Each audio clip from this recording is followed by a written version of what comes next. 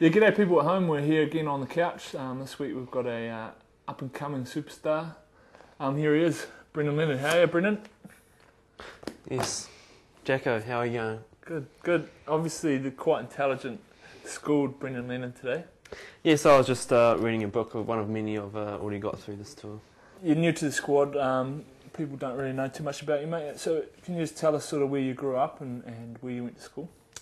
Yeah, sure. I was uh, originally from uh. I went to uh, my first first school to was Tauhei Primary. Then I, uh, my parents, when I was eight, moved out to Tirau, Okoroire in fact, which is just out, just out of Tirau. For those people who don't know that, it's uh, about 45 minutes um, south of Hamilton. And uh, so I went to Matamata College from there, and sort of my parents are still there at the moment. and after school, so I just moved over to Hamilton been there ever since.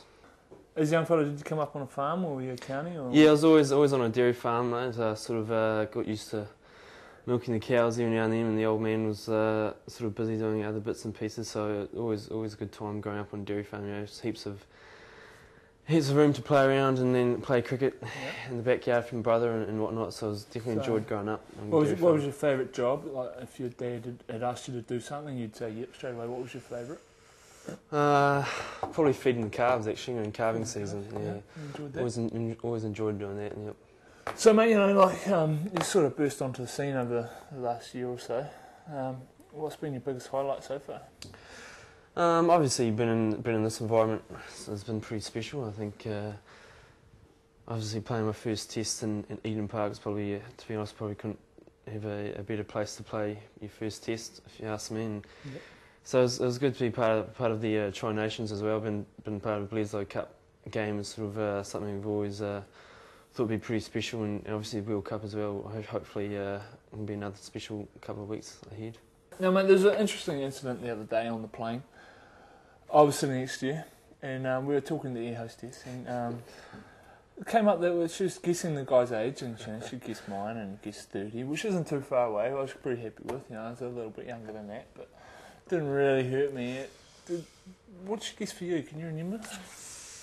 Nine, 19 was it? 19? No, 31, mate. Uh, did that really cut you in half? To be honest, mate, it's it's uh, it's, it's a little bit on the high side of what I'm what I'm used to. I'm used to around about the twenty high twenties, but low thirties. You know. But being a on 22 year old yourself, you know, that's great when you're at school and you want to go bu- buy booze. Yeah, I know.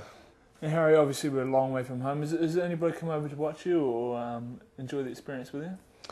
Uh, my sister uh, lives in London, so she pops over for uh, the games, and uh, my mum and dad actually just got here, got to Scotland a couple of days before the, the Scotland test, so they're sort of here right through to the, the end of the cup. So it's good to good to have that family support over here, and it's always um, not far away. So Oh, It's good to good, be here. man. It's awesome.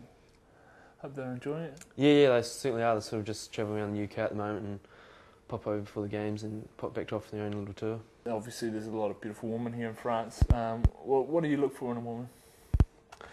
Well, yeah, like you said, they're a beautiful woman, but mate, I'm I'm not a shallow guy. You know, I, I, I definitely I definitely look for what's uh, their personality and, and, and sort of what's on the inside that, that really counts to me. So, obviously, that's been working for you with your conversational skills in French at, at this time.